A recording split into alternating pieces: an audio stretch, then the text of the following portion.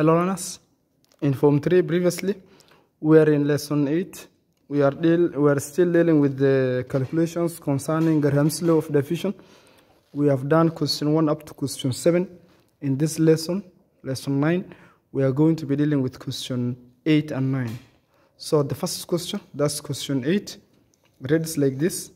If it takes 30 seconds for 100 centimeter cube of carbon dioxide to diffuse across a porous plate, how long will it take 150 centimeter cube of nitrogen peroxide to diffuse across the same plate under similar conditions?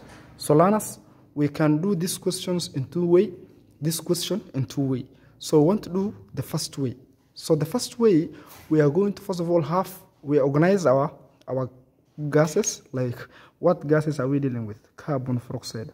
So how we write carbon dioxide? We write carbon dioxide as CO2. CO2. So let us get now the molecular mass of that carbon dioxide. Carbon is 12. It has been written here. Then oxygen is 16, but we have 2 of oxygen. This will be 44. Okay, thereafter, the time for that carbon dioxide, we are given 30 seconds. And the volume of that carbon dioxide, we are given 100 centimeter cube. Okay, we go to the other gas, that's nitrogen peroxide gas. So how do you write nitrogen peroxide gas? NO2. That means nitrogen is 14. It is written here, N 14.0 plus 16 times 2. So that one, it's going to give us 46. But we don't have the time because we are told how long will it take. Then on the other side, we're having volume to be 150 centimeter cube of nitrogen peroxide. Learners, the first way is we are going to make the volume of carbon dioxide and nitrogen peroxide to be equal. We are going to use equal volume.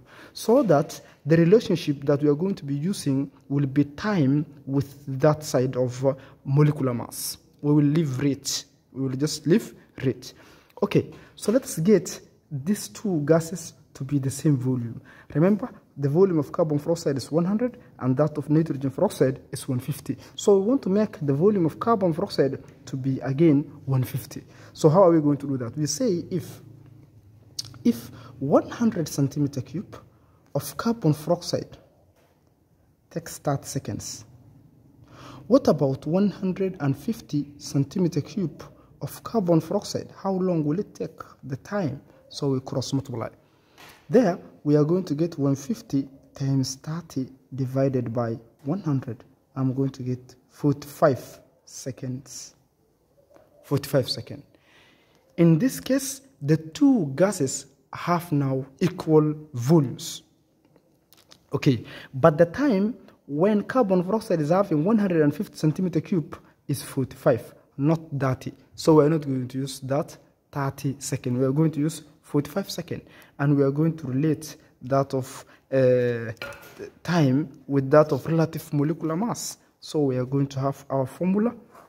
The formula between time and relative molecular mass was if you are having time of carbon dioxide divided by that time of nitrogen peroxide it will be equal to the square root of molecular mass of carbon dioxide over the molecular mass of nitrogen peroxide. Remember, time was directly proportional to the square root of molecular mass.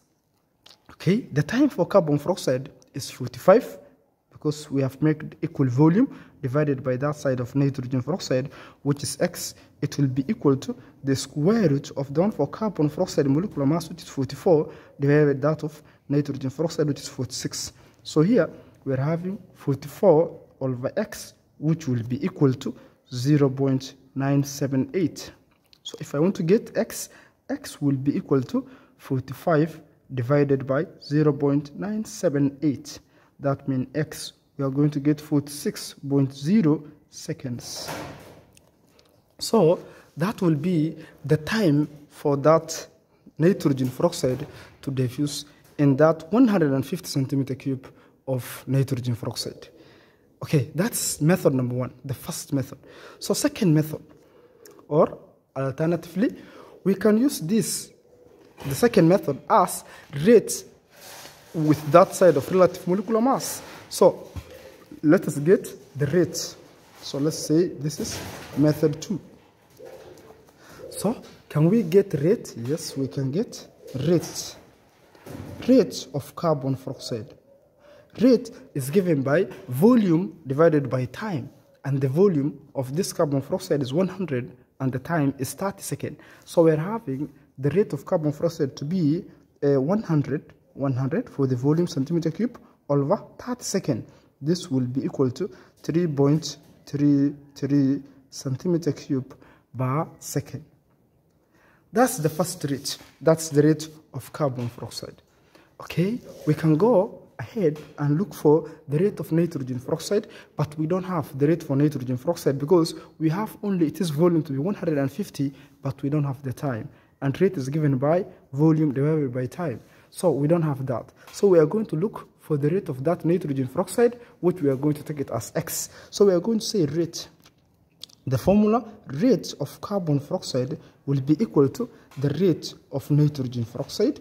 It will be equal to the square root of the relative molecular mass of nitrogen dioxide divided by the molecular mass of carbon dioxide. Remember, rate is inversely proportional to the square root of molecular mass. That is the relationship, learners. not that. Okay, what is the rate of carbon dioxide? We have gotten now as 3.33. We're having 3.33 divided that of nitrogen dioxide, which we don't have, we write as x, will be equal to the square root of the relative molecular mass of nitrogen dioxide is that side of 46. We have written here, the relative molecular mass for nitrogen dioxide is 46, and then for carbon dioxide is 44. So we're going to have 46 divided by 44. So Thereafter, what are we going to get? So here, we are going to say 3.33 divided by x will be equal to, so 1.0225. That's what we are going to get there. Okay, if it's like that, and I want to get x, what am I going to say? I'm going to say, I'm going to say uh, x will be equal to 3.33 divided by 1.0225. That's what I'm going to have there. Okay, what am I going to get after that? X will be equal to 3.257. This is the rate. So that rate, the, the unit was centimeter cube per second because we can see the one for carbon dioxide here, it was centimeter cube per second. So if we have now the rate, can we get time? Yes, we can get time because we are told rate will be equal to volume over time. Volume over time. So my rate is 3.257. It will be equal to my volume to be 150 divided by time, which I don't have. Remember, the volume of nitrogen peroxide was 150. It is here. Okay, so what are we going to see here? If I want to get time, it will be equal to 150 divided by 3.257. Okay, so x or t in our case, which is the time for that nitrogen dioxide, will be equal to 46.0 seconds.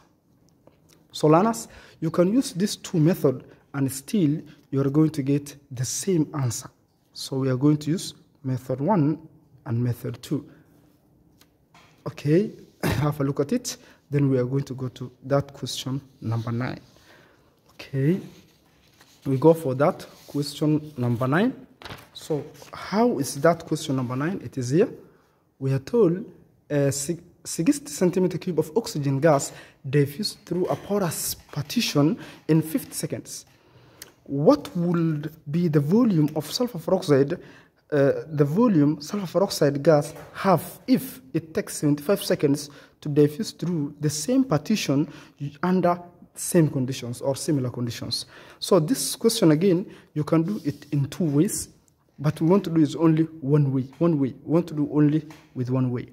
Okay, that way is, in our case, we want to use rate with that side of the relative molecular mass. So let's first of all have our, our, our figures and our gases. So the first gas is oxygen gas. We write oxygen to be O2. Then the relative molecular mass for that oxygen will be 16 times 2.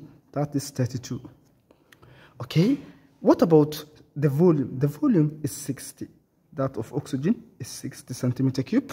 And the time is 50 seconds. So we're having 50 seconds. So those are the information given on that oxygen gas. So that the gas is sulfur peroxide gas. How is it written?